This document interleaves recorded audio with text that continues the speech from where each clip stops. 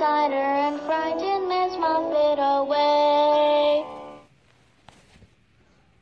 Little Miss Muffet sat on a tuffet, eating her curds and whey. Along came a spider and sat down beside her and frightened